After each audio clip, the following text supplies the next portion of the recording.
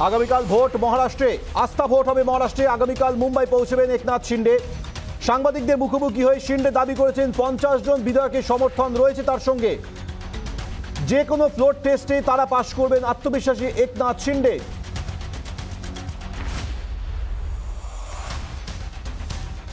সৃজিতা আমাদের সঙ্গে এই মুহূর্তে মুম্বাই থেকে সরাসরি রয়েছে। রিপোর্টার শ্রীতার সঙ্গে সরাসরি কথা বলব। শ্রীতা পরিস্থিতি যেদিকে এগোচ্ছে, একনাথ শিন্ডে বলছেন যে তাদেরকে কেউ আটকাতে পারবে না। আজকে তিনি স্পষ্ট সাংবাদিককে বলেছেন যে আমাদেরকে কেউ আটকাতে পারবে না। আগামীকাল মুম্বাই এই সম্ভাব্য আস্থাভোটকে কেন্দ্র করে মহারাষ্ট্রের রাজনৈতিক চিত্রটা কীরকম?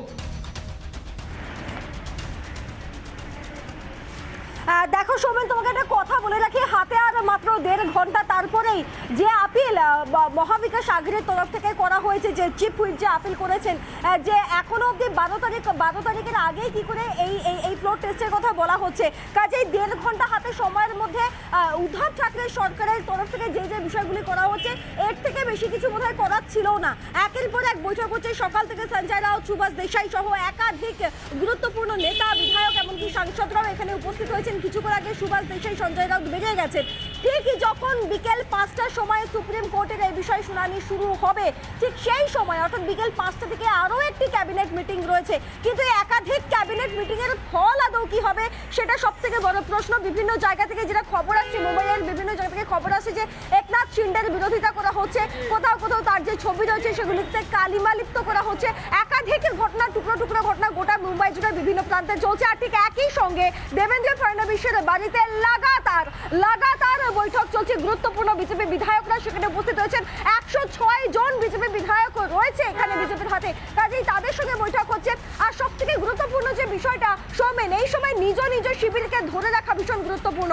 কাজেই সংখ্যা গরিষ্ঠতা খালি থাকলেই হবে না। শেষ মুহূর্তে বাজি পাল্টে যেতে বেশি সময় লাগে না। তাই জন্য লাগাতার বৈঠক কিন্তু বিজেপির শিবিরেও হয়েছে। একেবারে সরাসরি হচ্ছে। আর এদিকে উদ্ধব ঠাকরের বাড়িতে মাতোশ্রীতে যেখান থেকে সকাল থেকে আমরা রয়েছি, একাধিক বিধায়কের আনাগোনা হয়েছে। সেখানে বিকেলবেলাতেও যখন শুনানি শুরু হবে, ঠিক পাঁচটা থেকে সেই সময়টাও একটা বৈঠক হবে।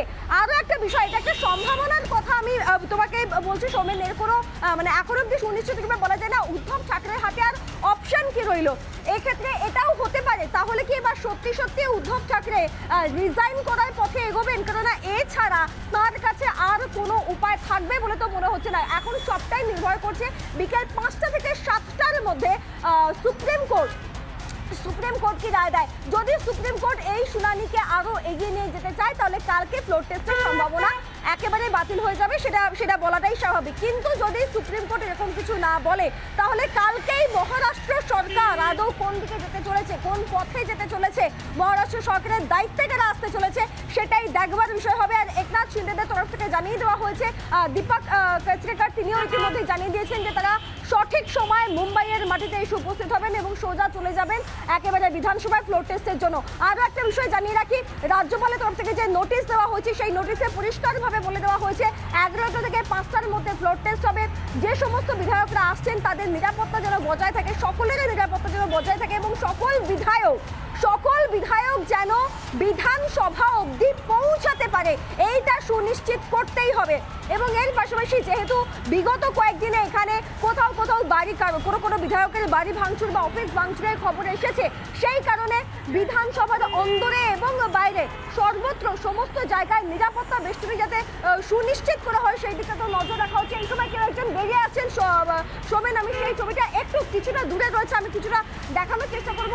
এই মুহূর্তে কেউ একজন বেরিয়ে আছেন? তাদের সঙ্গে আমি দেখানোর চেষ্টা করব যে কে আছেন। প্রসঙ্গ তোমাকে জানিয়ে রাখি জানিয়ে রাখি যে ওই দিনের মানে আগামীকাল যদি সত্যি সম্ভব হয় যদি সত্যি ফ্লোর টেস্ট হয় তাহলে তার সমস্ত ঠিক রেকর্ড তুমি সেদিকে নজর রাখো শ্রীতা তুমি সেদিকে নজর রাখো তোমার কাছ থেকে। তোমার সঙ্গে আমরা কথা বলব। তার আগে আমরা একবার শুনে নেব একনাথ শিন্ডে তার আগামীকালের ফ্লোর টেস্টে জয় পাওয়া নিয়ে কতটা আত্মবিশ্বাসী। কি বলছেন শুনুন।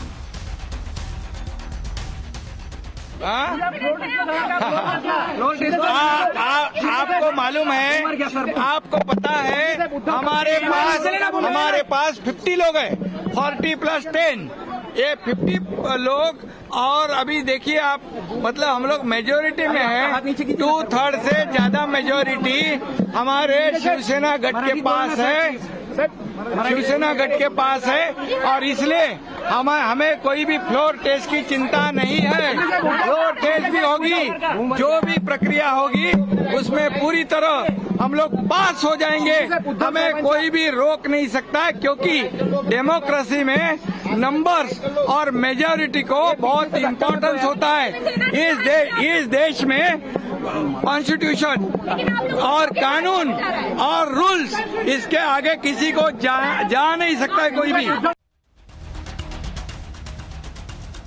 শ্রীতে আমরা শোনালাম একনাথ সিংহ তিনি স্পষ্ট বলছেন যে আমার কাছে চল্লিশ প্লাস দশ টোটাল পঞ্চাশ জনের সমর্থন রয়েছে আমাকে কেউ আটকাতে পারবে না এদেশের সংবিধানই শেষ কথা সংবিধান অনুযায়ী আমরা আত্মবিশ্বাসী অর্থাৎ এই যে অত্যন্ত আত্মবিশ্বাসের সঙ্গে তার যে চ্যালেঞ্জ আমরা আসছি, শুনব।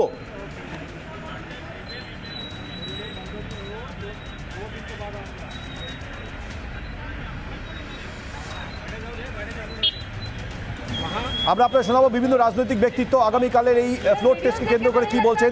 শ্রীদা তাহলে এই মুহূর্তে মহারাষ্ট্রের রাজনীতি বেশ উত্তপ্ত পর্যায়ে রয়েছে। খুব ইন্টারেস্টিং জায়গায়। একেবারে একেবারে একেবারে সোমেন, যে ছবি আমরা দেখানোর চেষ্টা করছি, রবি শর্মা যে ছবি এই মুহূর্তে তুলে ধরছে, তাতে দেখা যাচ্ছে যে বিনায়ক রাউত, এখানকার সাংসদ, তিনি এই মুহূর্তে মুখ্যমন্ত্রী উদ্ধব ঠাকরে, উদ্ধব ঠাকরের বাড়ি থেকে বেরিয়ে আসছেন এবং তিনি এখনও অবধি তার তরফ থেকে এই কথাটা বলা হচ্ছে যে বলা হচ্ছে যে কাউকে কাউকে জোর করে আটকে রাখা হয়েছে, যতক্ষণ অবধি ফ্লোরে আসে, ততক্ষণ অবধি কোনো কিছুই পরিষ্কার হবে না। যদি তাকে প্রশ্ন ছুড়ে দেওয়া হয় যে পরিষ্কারভাবে একনাথ শিন্ডে জানিয়েছেন, তার তরফ থেকে জানানো হয়েছে যে এখানে কাউকে জোর জবরদস্তি করা হয়নি, সবাই স্বেচ্ছায় এসে রয়েছেন। কিন্তু এখনও উদ্ধব শিবির তাদের অবস্থানে দাঁড়িয়ে রয়েছে। এর বাইরে যদিও হয়তো তাদের কিছু করার ছিল না, সাংসদ এই মুহূর্তে বেরিয়ে যাচ্ছেন। সেই সেই সেই মুহূর্তে আমরা ছবি তুলেছি বান্ধবীর সামনে থেকে। আরও এক সাংসদ, আরও এক সাংসদ তিনি বেরিয়ে আসছেন। সেই ছবি আমরা দেখাচ্ছি এবং বিকেলেও বিকেল পাঁচটা নাগাদ আরও একটি ক্যাবিনেট ঠিক আমাদের বিকেল পাঁচটার দিকে নজর রাখবে অবশ্যই তুমি মহারাষ্ট্রের রাজনীতির দিকে নজর রাখো। তোমার কাছ থেকে আমরা আপডেট নিতে থাকব ঘণ্টা ঘণ্টা। ধন্যবাদ। আমরা কথা বলছিলাম সৃজিতার সঙ্গে রিপোর্টার আমাদের সঙ্গে মুম্বাই থেকে লাইভ ছিল।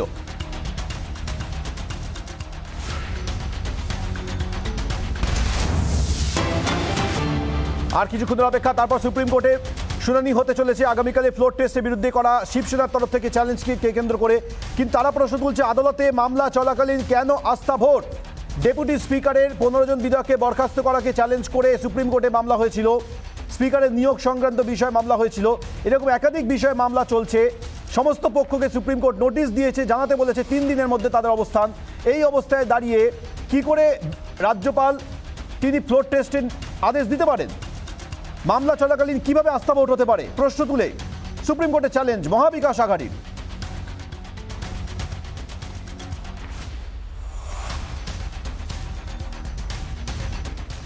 আগামীকালে যে আস্থা ভোটের বিষয়ে নির্দেশ জারি হয়েছে রাজ্যপালের তরফ থেকে সে বিষয়ে সঞ্জয় রাউত শিবসেনা সাংসদ শুনুন তিনি কি বলছেন लेकिन अनलॉफुल एक्टिविटीज है सिक्सटीन एम जो हमारे हैं उनका डिसक्वालिफिकेशन का इशू सुप्रीम कोर्ट में पेंडिंग है और 11 तारीख तक उसके ऊपर कोई निर्णय नहीं होगा और उसके बीच कोई इस प्रकार की अनलॉफुल एक्टिविटीज होती है तो सुप्रीम कोर्ट ने कहा है कि आप वापस सुप्रीम कोर्ट आइए और हमारे सामने ये बात रखिए।